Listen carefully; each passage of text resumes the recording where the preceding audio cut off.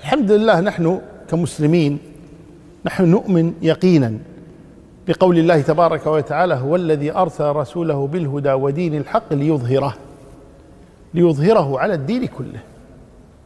هذا يقين بالنسبة لنا.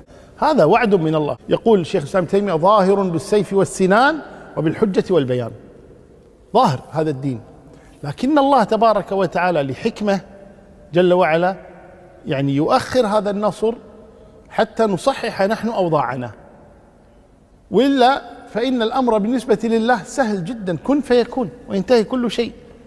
إنما أمره إذا أراد شيئا يقول له كن فيكون انتهى كل شيء. فالأمر يسير على الله تبارك وتعالى. ولكن الله تبارك وتعالى يريد نحن أن نتحرك يريد نحن أن نبذل شيئا. نحن أن نصلح من أحوالنا وأوضاعنا وعلاقتنا مع الله تبارك وتعالى. وإياكم إياكم أن يصل الأمر إلى اليأس. يعقوب عليه الصلاة والسلام حذر أولاده. قال يا بني اذهبوا فتحسسوا من يوسف وأخيه ولا تيأسوا من روح الله.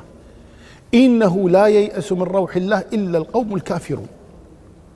فلا يجوز للمسلم أن ييأس من روح الله تبارك وتعالى. وأن الله سيظهر هذا الدين بذل ذليل أو بعز عزيز. سبحانه وتعالى. ولكن علينا نحن أن نصحح علاقتنا مع الله تبارك وتعالى وأن نستقيم على الأمر الصحيح ثم بعد ذلك سيظهر الله هذا الأمر كله. ولا ننتظر المعونة من أمريكا أو روسيا أو أوروبا أو غيرها من البلاد لا ننتظر هذا منهم أبدا.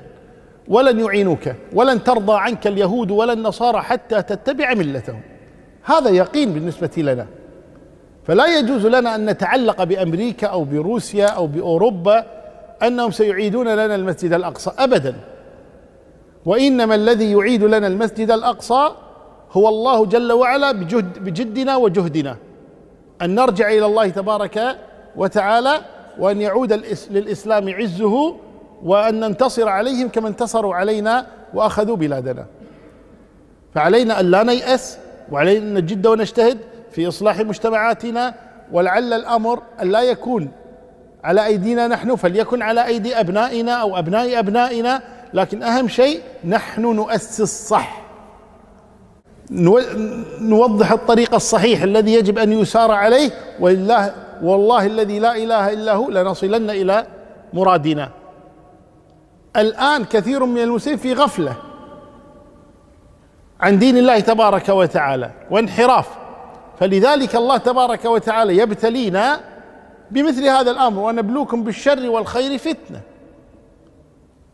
لما حرر الله المسجد الأقصى على يد صلاح الدين الأيوبي قبل صلاح الدين هناك الجنود مجهولون أمثال نور الدين زنكي وغيره هؤلاء بذلوا جهودا عظيمه وأسسوا حتى يعني قدموا الأمر لصلاح الدين على صفيحة من ذهب.